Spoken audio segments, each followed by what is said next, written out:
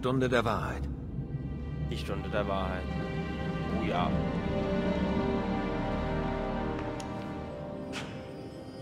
Er hat den Schlüssel.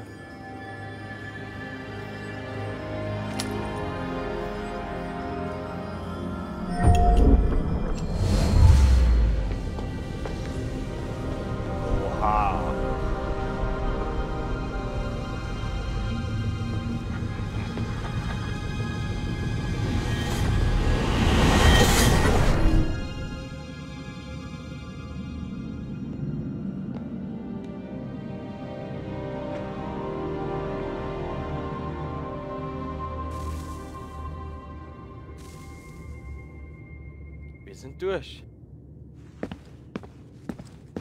Was wird jetzt geschehen? Wo wird uns das hinführen? Warum kann ich nicht zurückblicken? Ja. Komm.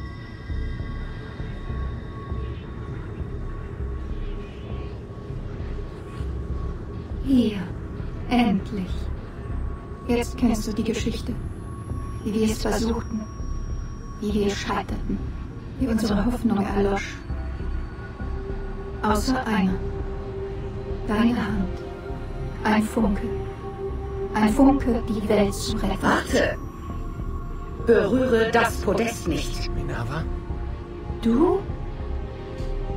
Aber wie? Wer bist du? Du gingst und hast das Gerät zerstört. Glaubst du denn, es gab nur das eine? Was bitte geht denn hier vor?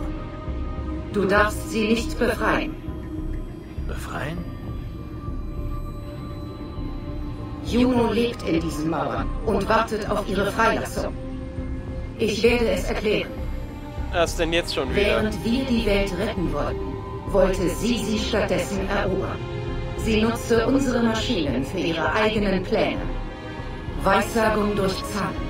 Die Existenz folgt einem Muster. Die Berechnungen zu verstehen, heißt die Zeit zu zählen. Das war mein Ziel. Ich baute das Auge, um uns zu helfen. Doch sie nutzte es für ihre eigenen Zwecke. Als wir den Verrat bemerkten, haben wir es beendet. Und dann gingen wir. Doch zuerst riefen wir dich, damit du es erneut versuchst. Wir dachten, ohne sie sei es sicher. Nun sehe ich hier rumgetäuscht. Sie überlebte, sie verharrte und sie begann zu arbeiten. Jahrhunderte liefen Tinia und ich durch die Welt, um den Funken der Zivilisation wieder zu entfachen. Wir teilten unser Wissen so gut es ging. Wir waren nicht die Einzigen. Und trotz all der Macht, die wir besaßen, würde der Tod uns holen. Doch bevor er das tat, wollte ich einen letzten Blick erhaschen, ob wir Erfolg hatten. Und so bist du jetzt hier. Ich hoffte, ihr findet diesen Ort und vollendet unser Werk. Doch es ist zu spät. Ihr und die Templer habt über unsere Überreste gestritten. Ihr habt Jahrhunderte vergeudet. Und so habt ihr eure Chance vertan. Du kannst das Ende nun nicht mehr aufhalten, Desmond. Du kannst es nur... Sie lügt. Berühre nur das Podest und die Welt wird gerettet. Besser die Welt verbrennt, als die da zu entfesseln. Ist das wirklich so? Dann zeig es ihm. Aber er wird nicht verstehen. Es ist kompliziert. Es ist... Zeig's mir. Ach du Schande, was ist da los? Löst du auf Minerva, wird die Sonne triumphieren. Der Boden wird aufbrechen und Feuer in den Himmel spucken. Die ganze Welt wird brennen. Doch das ist nicht das Ende. Nur ein Vorbote seiner Ankunft. Es folgt Dunkelheit. Dann kehrst du zurück, entschlossen, die Grundlage zu legen, damit eine solche Tragödie nie mehr geschieht. Du wirst ein Symbol für die, die überlebten. Hoffnung, Wissen, Entschlossenheit. Du inspirierst sie zum Wiederaufbau, zu einem Neuanfang.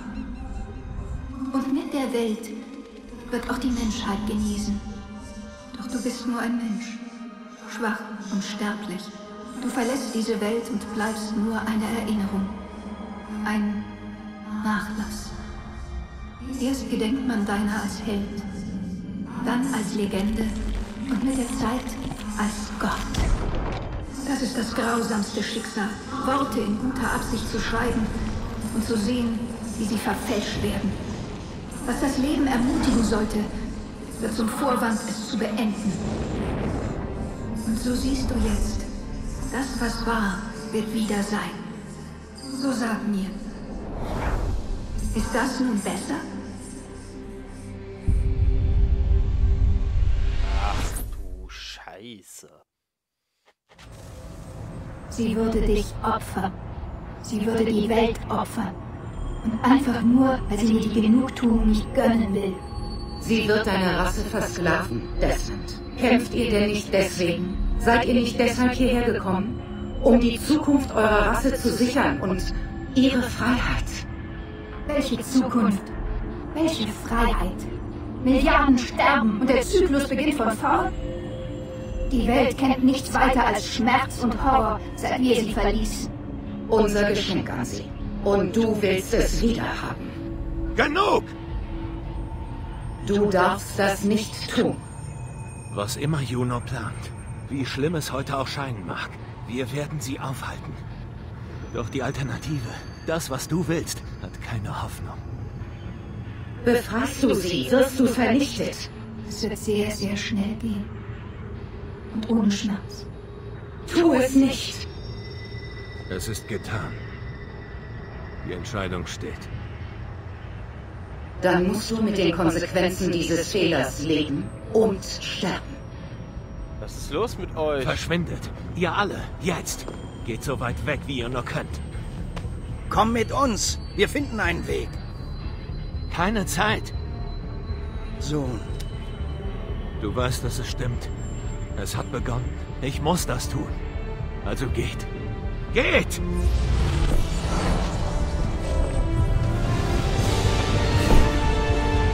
Desmond, was tust du?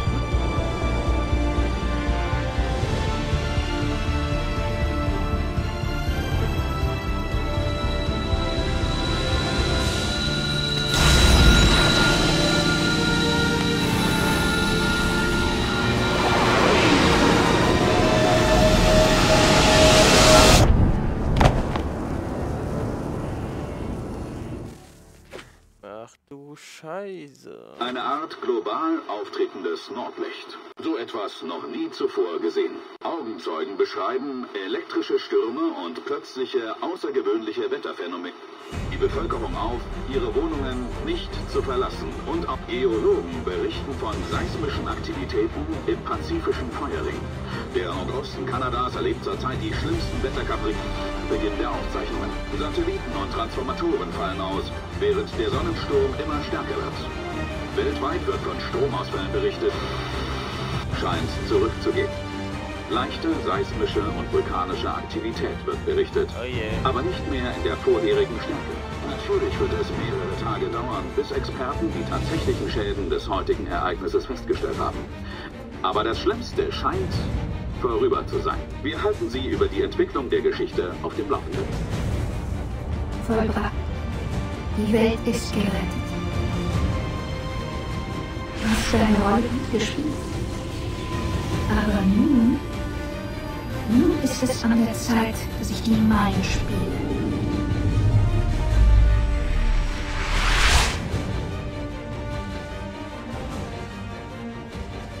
War's das?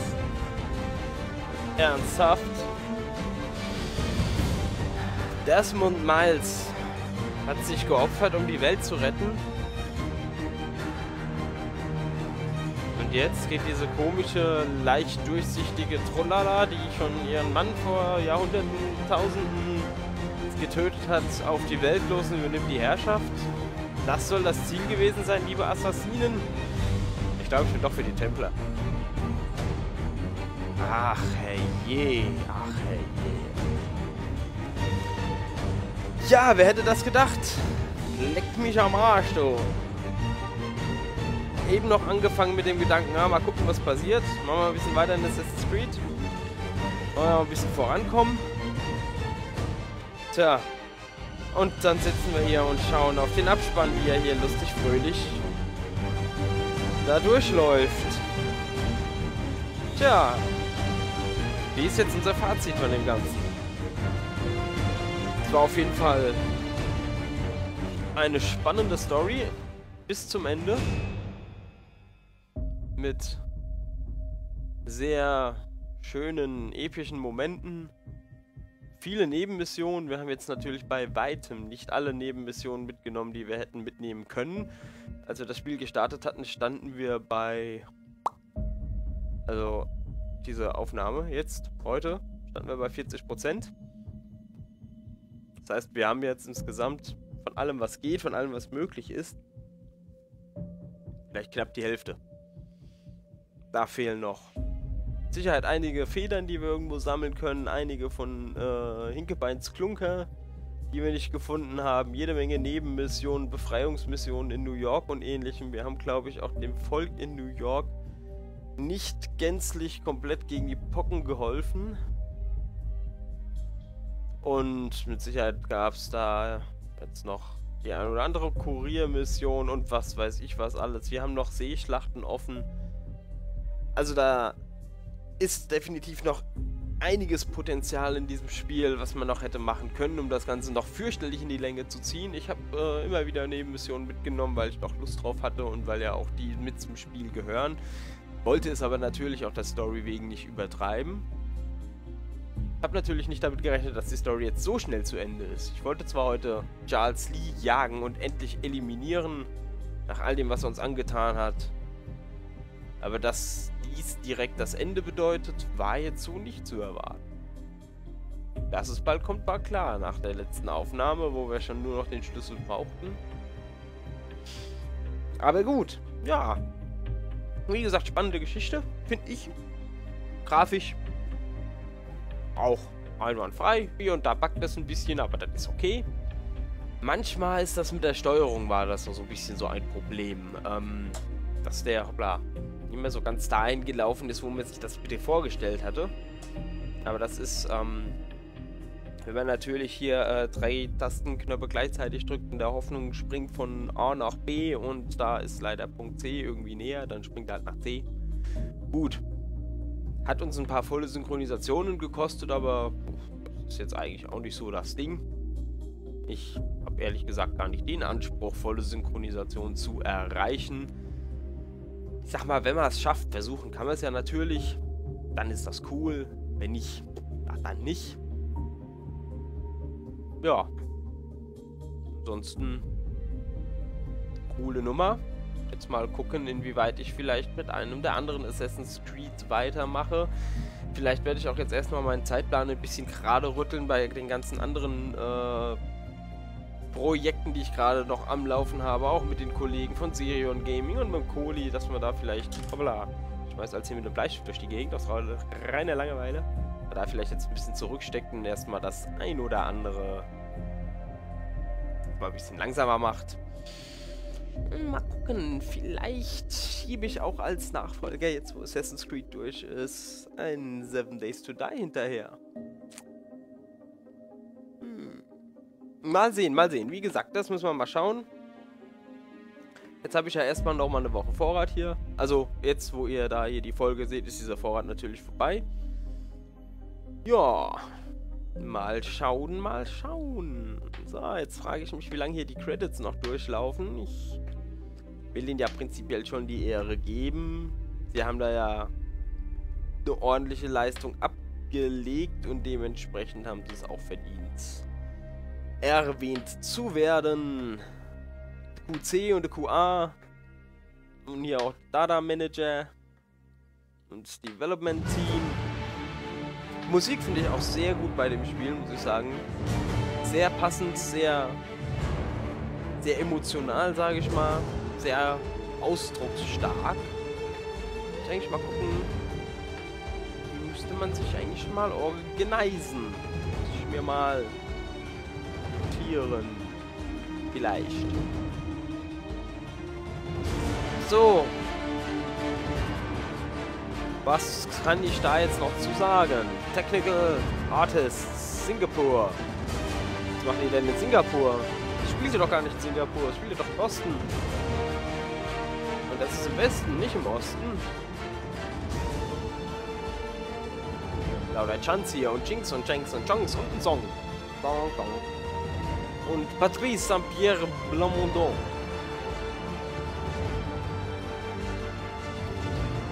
Test Coordinators im Singleplayer und Test Coordinators im Multiplayer und Functionality Testers.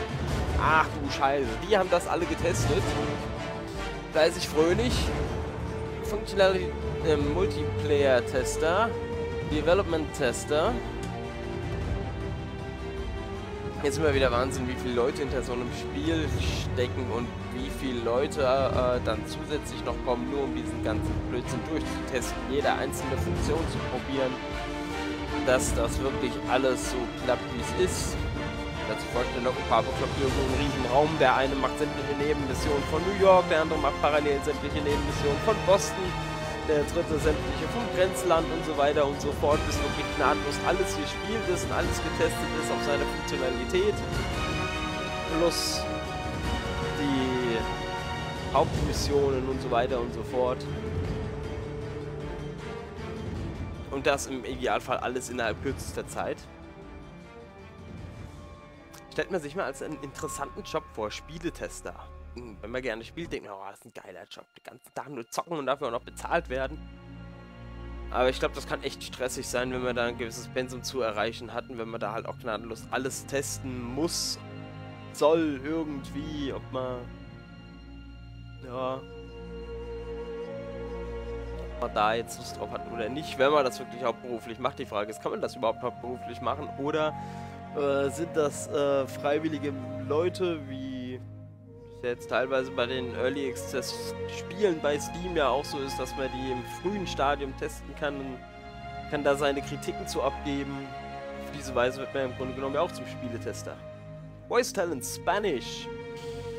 Ah, scheiße. Voice Talents Russian. Jetzt sind die ganzen bekloppten Voice Talents Japanese Voice Talents Multiplayer. Oh Gott, die ganzen Bekloppten, die da irgendwelchen Kram gesprochen haben, External Studios, bla bla bla und so weiter und so fort. Ich glaube, wir nähern uns dem Ende. Vielleicht geht auch die Musik nochmal episch los und es kommen noch ein paar Credits. Meine Fresse haben die viele Credits hier. Das ist ja... Ah, jetzt kommen noch 3D-Artists und Lied 2D und Artist 2D und Lied 1D und 0D. Und die Eddings haben sie hier auch und Capture Artists die, die Catherine Orga, die hat die Fleck gecatcht. Im Alleingang. Ja. Hier die Musik, Musik, Musik, die Musik, die Mucke hier. Ja, alles auch extra aufgenommen hier von verschiedenen Leuten. Auch hochprofessionell. Mit Orchester und allem.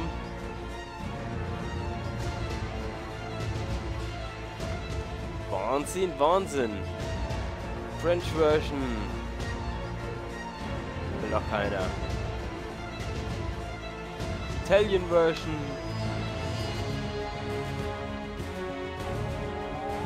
Die German Version bei Power GmbH von Frank Haut, Florian Köhler. Die Translation Sound Studio hier. Äh, ach, Scheiße. Laute Leute hier, laute Leute.